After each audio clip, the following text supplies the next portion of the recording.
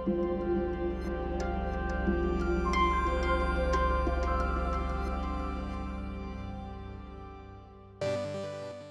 and welcome to GDC 21. This is our live AMA Q&A with Global Game Jams, Kate Edwards. That was a lot of letters all at once. I'm Joel Couture, editor-in-chief of Indie Games Plus. I'll be the moderator for this session. My pronouns are he, him, and I am ridiculously excited to announce Kate Edwards. If you got a ton of questions for her, let's rock.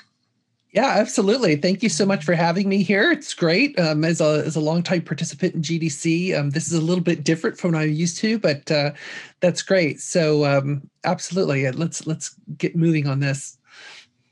Very cool. So I'm going to jump right in before anybody else has any questions because I'm lucky and I can do that. what first interested you in bringing your geographer experience into video games? Because that's that sounds really interesting to me. Yeah, that was that was really kind of a mistake, a happy mistake, because I, you know, like many people in my generation who are, you know, above fifty or in our, you know, up there, uh, more veteran status, I guess. Um, we didn't game design and game, you know, creating games. There's not really a clear career path you know, coming out of high school or in the college days. So for me, I basically pursued what I was interested in, which was, you know, wanting to be an astronaut, wanting to be an artist for Lucasfilm because I wanted to work Star Wars, um, and then eventually settled on geography and cartography because I've always had this incredible interest in cultures and travel and maps and everything, and plus the artistic artistic skill I had I could use with cartography. And so, basically, to make a really long story short, I pursued that field and I'm really happy I did. Um, it's been fantastic. And I ended up doing my graduate school work at the University of Washington in Seattle. And I just finished my master's degree, which was focused on using VR for cartography. That was way back in 1991. And Microsoft called our department and said they needed a cartographer to work on Encarta Encyclopedia, which some people out there might remember. And so I went over to Microsoft on what I thought was going to be like a really short-term contract uh, to work, be a cartographer and you know basically help uh, create the maps for the initial version of Encarta. Well, that turned into a longer and longer contracts and eventually a full-time position. And I, um, in that full time role, which was still uh, initially mainly focused on the cartography in like Encarta World Atlas, Encarta Encyclopedia, Streets and Trips, like all the mapping products that Microsoft was doing.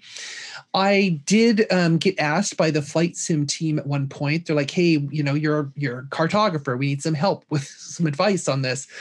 Um, but where it really started for me when I really started working on games was I created a, an internal team at Microsoft uh, called Geopolitical Strategy because I noticed that the company was having struggles with maintaining knowledge around like what is sensitive from a political standpoint or cultural standpoint um, in the content that they were producing. And so, like, you know, the office team would make a mistake in one market, and then, you know, another product group who does, you know, completely across the company would make a similar mistake mistake and then they get in all this really big trouble with the government because you know they were making these mistakes. And so i basically determined that this is a weakness and so there needs to be a group that coordinates that kind of knowledge across the company. So once i created that team that was way back in 1998 um, that also gave me the mandate to work on all microsoft products including all the games. So i started working on all the pc uh, stuff back then like all the age of empires and you know asheron's call and all those kinds of games, MechWarrior, and then of course we got into the early Xbox. Um, you know, because the Xbox at that uh, initially wasn't there yet. Um, but then I ended, got to basically work on all of those Microsoft franchises, um, Halo, you know, obviously, uh, Fable, Forza, all of that stuff. And that's when I really found like this is my calling. I get to do what I call culturalization work on video games. So it's basically this incredible confluence of everything I love technology, creative media, games, uh, geography, cartography, all of this stuff came, came together in a really strange way. And I'm so thankful that it did. And uh, I love what I do. Yeah, it sounds like it's really interesting work and it works to well to all your interests. Um, and if the audience has any questions, feel free to jump in, throw those in the chat. Otherwise, I'm just going to keep taking over the whole talk because I'm super I want to keep pushing for it. Can you tell us some of the? Do you have some interesting stories on the, your work with like Halo or Call of Duty or any of those?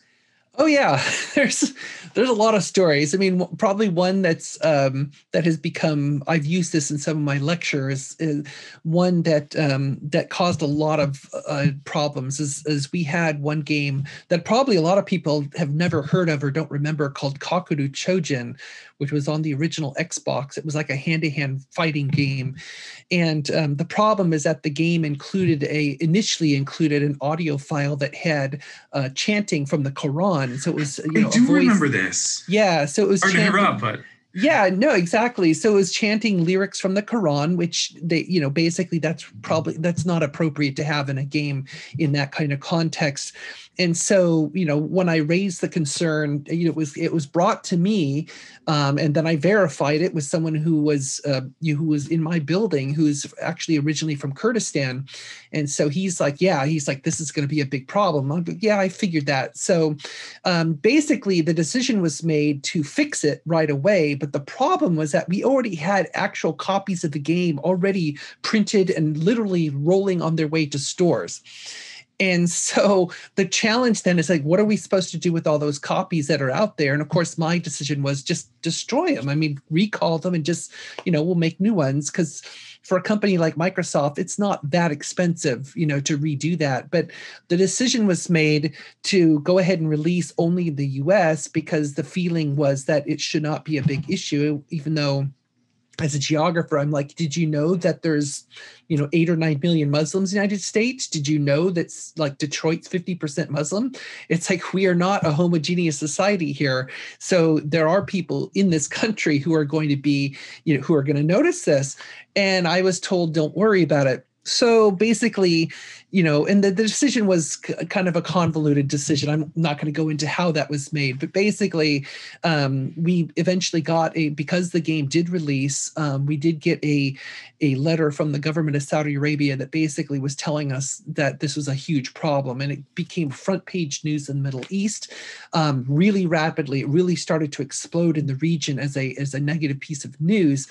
And so I eventually was asked by the head of the Middle East region of Microsoft to come over there and basically help do damage control because I, as a geographer and in the role I served uh, in Microsoft, I knew you know the complex issues behind it and why this is going to be sensitive so they said it'd be great if somebody from headquarters like you could come over and actually explain what's going on and what happened and so I did. And I ended up going to Riyadh and I landed in Riyadh two days before the second Gulf War started. So that was exciting. So exciting's a word for it. you know, and I didn't really, I wasn't really thinking about it. Obviously, I was aware of what was going on in the world, but at the same time, I'm like, well, that's my job. I need to go there and do this. And um, so what was fascinating is that, you know, I sat in front of representatives of the religious council of the of the Saudi government to explain to them what happened. And it was um, to say it was a bit uncomfortable is an understatement. But mm-hmm. basically, I to shorten the story, you know that i basically explained to them what happened and you know they they accepted the the apology and then we just moved on then i went over to dubai and had to do something similar even though you know the uae is a more liberal culture within within the region so it wasn't quite as stringent there but the point being is that one audio file that somebody did not check that nobody asked like what are these lyrics? What where is this from?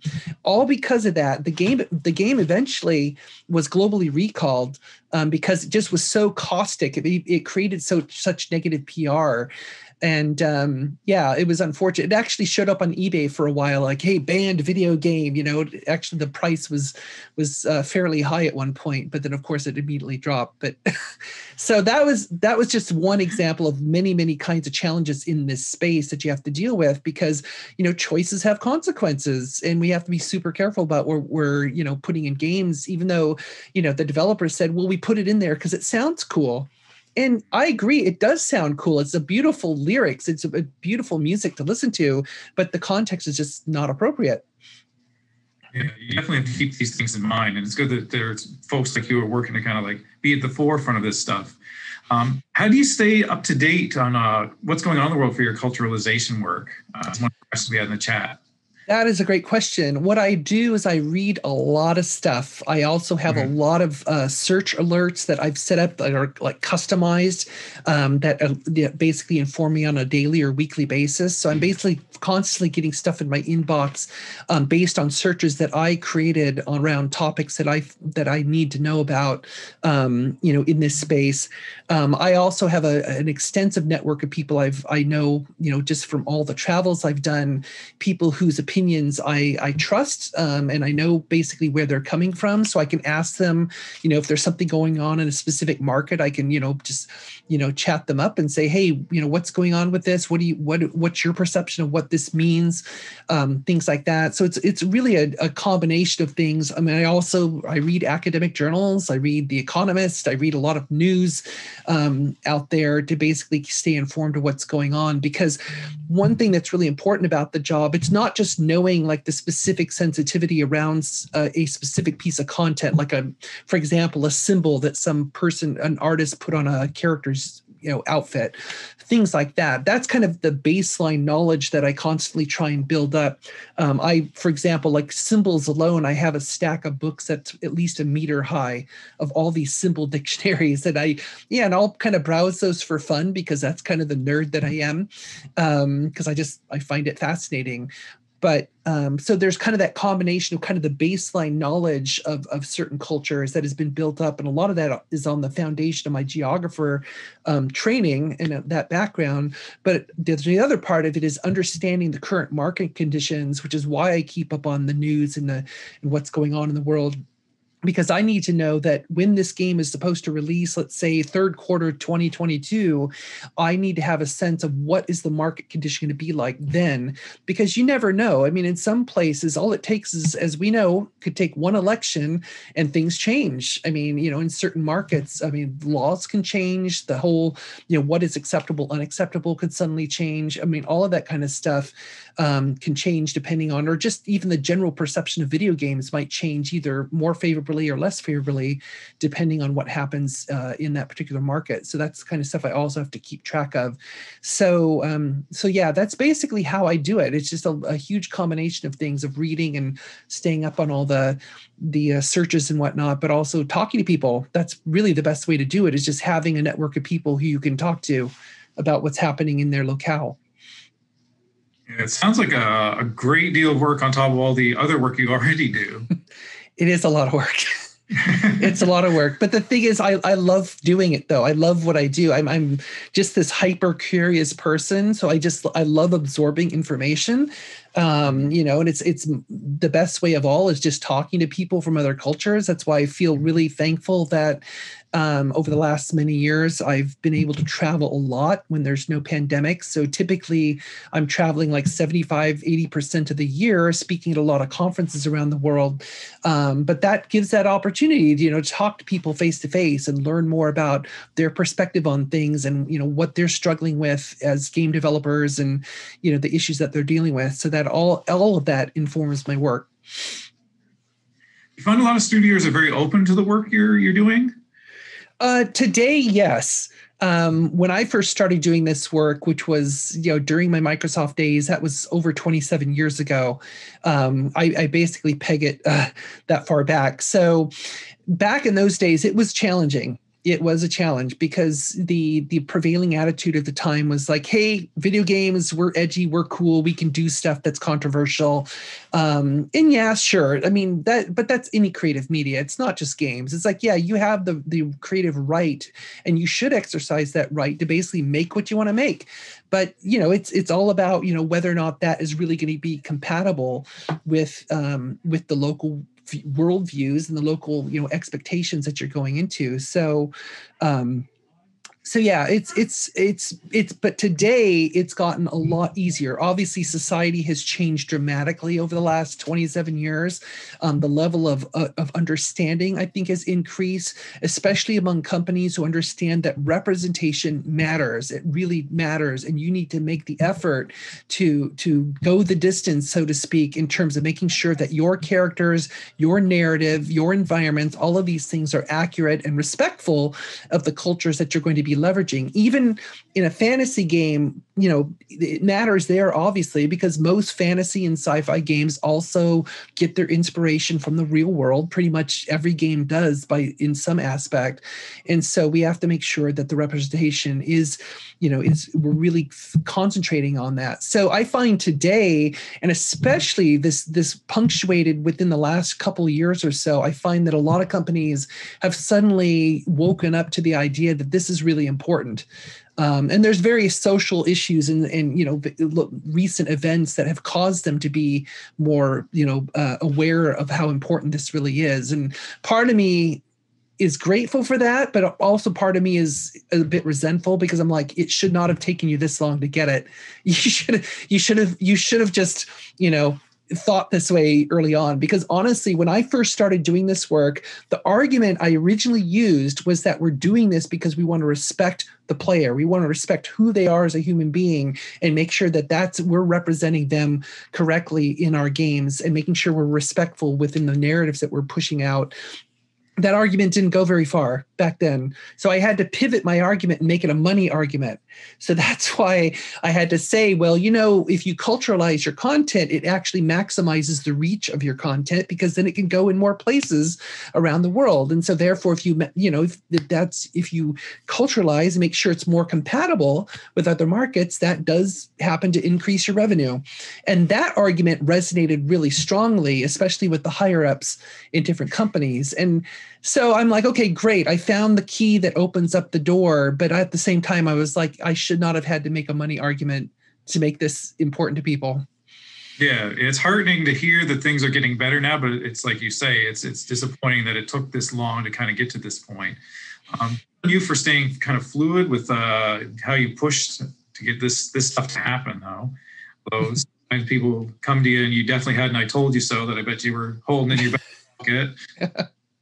I try not to say I told you so, but it it happens sometimes. It's too. I told too, you this. You're stronger than me. Then it's too good to pass up sometimes. Mm-hmm. All right, we've got another question in the chat. Um, how do you make sure that you respectfully handle cultural assets in games, and how do you grow your own uh, grow your own expertise in these cultures that aren't your own? Part of that you answered, but yeah, I, I answered a little bit of that, but that this question's a little more specific, and I think it's a mm-hmm. it's a great question because I think there there's a certain understanding and awareness I have of various cultures around the world just by the longevity of the time I've been doing this work. Because again, reading a lot, talking to a lot of people, having an understanding of like kind of the baseline reaction that some cultures would have. But I'm obviously I'm not presumptuous to think that I'm going to represent the voice of a specific culture. So my job when I'm doing doing it is basically to flag something and say, I think this is going to be a problem in this culture based on my understanding, but the, then they need to take the next step. And sometimes they facilitate that through me and my work, but then oftentimes they I help them facilitate it through, you know, by themselves. But basically, you need to find someone from that culture, an, an expert, a sensitivity reader, you know, some person who's going to represent that culture and, and be able to speak to the issues that you're addressing here because that's ultimately how you have to do it. You have to consult with them. And obviously, we've seen games do a better job of this over the last few years. You know, there's great examples, like, for example, some games that have indigenous characters, like I think what Assassin's Creed 3, which then brought in someone from the Cherokee Nation to directly advise on how, you know, the Connor character should be represented, the language they use, all of that kind of thing. I did a little bit of consulting work on Never Alone, for example, which was the game developed in direct partnership with the Inuit people up in you know northern Canada, which was you know and basically they were the ones dictating to the development team this is what how it should be done. This is the language. This is the look you know and i think that when you're when you make a game that is based on real cultures um and real geography, you really have to have that kind of direct engagement. To me, that's really the only best way to do it.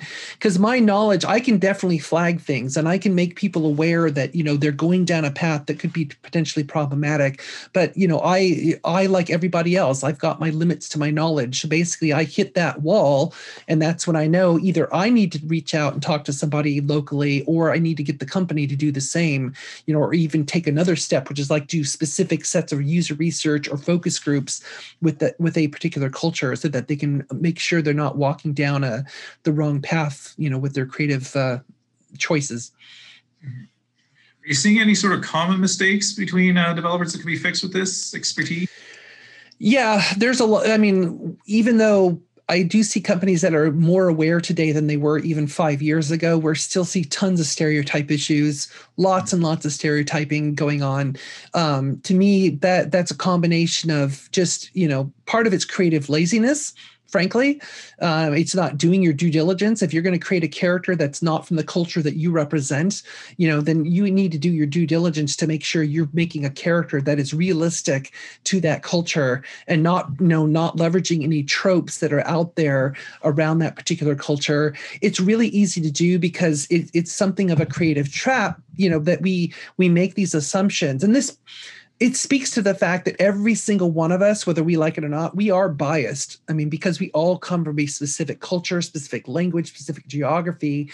And, you know, I think most of us, we overcome that bias with education. That's what the benefits of, of having an educational process.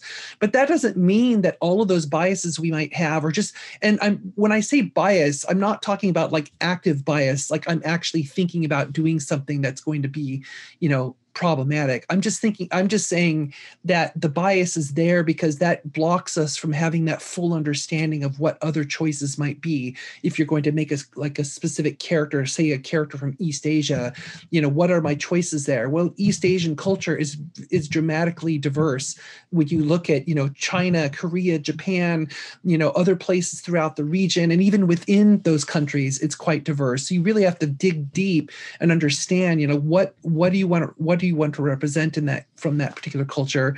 Um, and again speaking to the point about um, about uh, fantasy and sci-fi games sometimes game developers because a lot of our games tend to be set in a fictional universe we also have to be really careful because those things bleed over all the time. Those choices are also um, just as complicated because we often look to the real world to set up allegories in our sci-fi or fantasy universe whether it's narrative allegory or visual allegory um, but those allegories have an origin point. They have an inspiration in the real world, and we need to make sure what I, that we have sufficient what I call allegorical distance, so that the original inspiration isn't too obvious to what actually shows up in the game.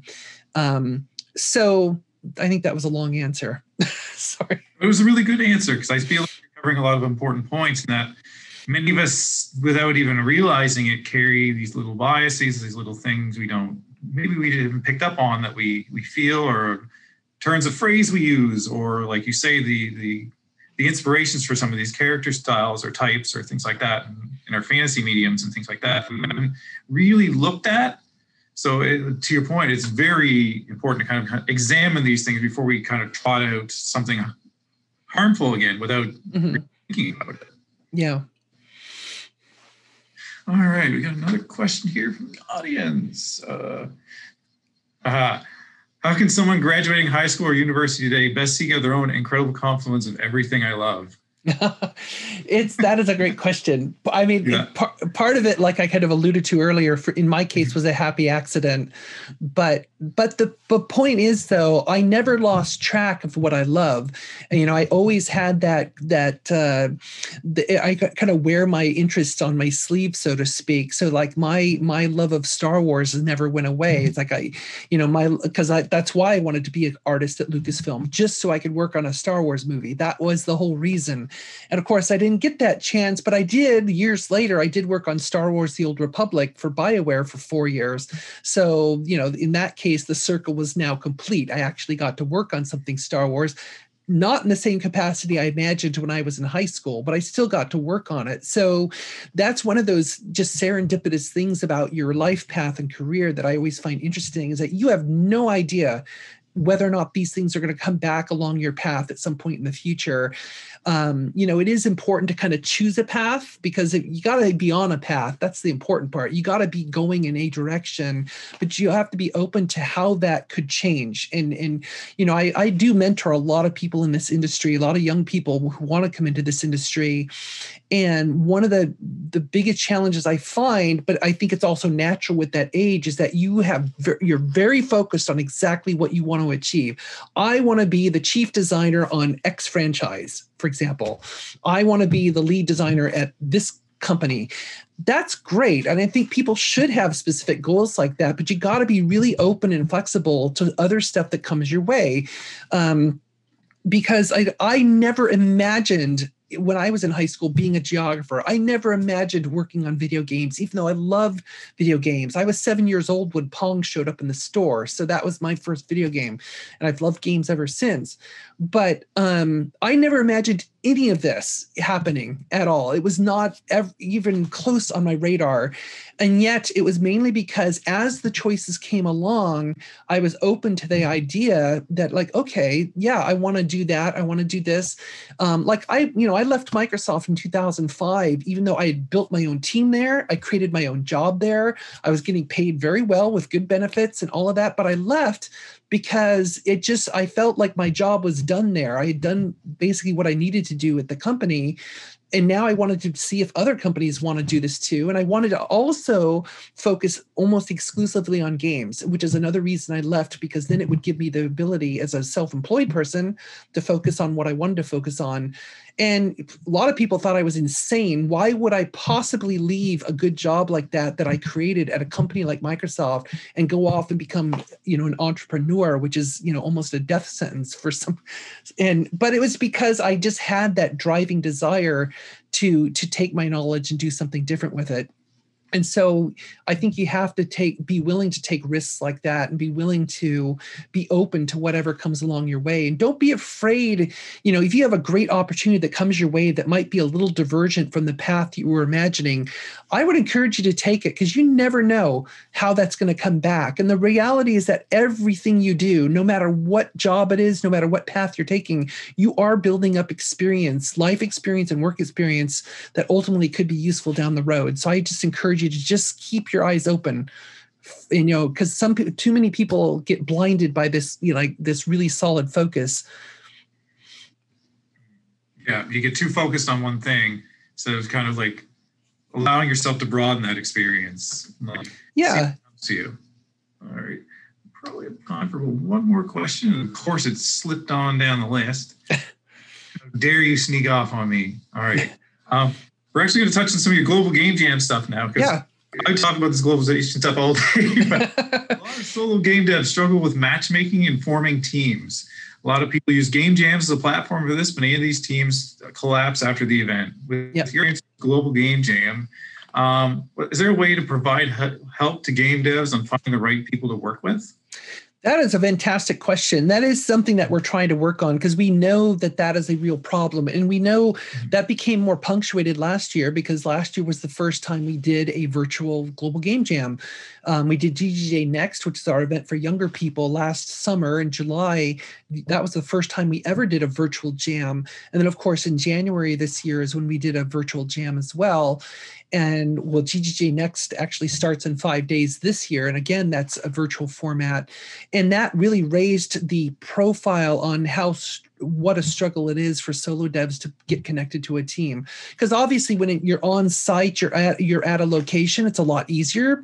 Even though then it can be somewhat challenging for people because there's always that that little part after after the the theme is announced and people kind of go their separate ways to you start working on their game you know there's always kind of that little forum where you have the the solo people saying hey i'm you know i can do this you know does anyone need me on their team? And usually those people get paired off which is great they get attached to a team. But if you're virtual or if you're just kind of out there it's it is tough to do that. And so we've been trying to think of ways to make it a lot easier so that we kind of have i don't know i don't want to call it matchmaking nothing like that. But basically a way so that teams can say hey this is what we need and you also have a pool of people to say this is what i do you know to make it a lot easier especially in a virtual jam um, because that just makes it super challenging because you're not you don't have any like necessary com- communal space. And if you're like in a discord channel or something it's just a lot of noise to kind of figure out what's going on so the short answer is that we're we, we're aware of this problem and we're trying to fix it. Um, right now it's it's not an easy fix. Um, but i'm glad you raised the question though. Great. and i think that's about all we have time for today. We're down to that last minute. So um, kate thank you so so much for coming out and talking with us today. It was fascinating to listen to your work. Uh, definitely going to keep following up on what you're doing from here on out Well, thank you. Yeah, this was great. Yeah, I mean, we could talk for hours on this yeah. this subject. I will but, take you up on that someday. And and I'm more than happy. People want to reach out to me. I'm pretty easy to find on Twitter and elsewhere. If you want to reach out to me, and uh, if you have additional questions, don't hesitate. You know, especially you know if you're looking to get into the industry, this is this is how you start. You ask questions and don't be shy. Mm-hmm. All right. With that, thanks a lot for coming out, folks. Enjoy the rest of GDC 2021.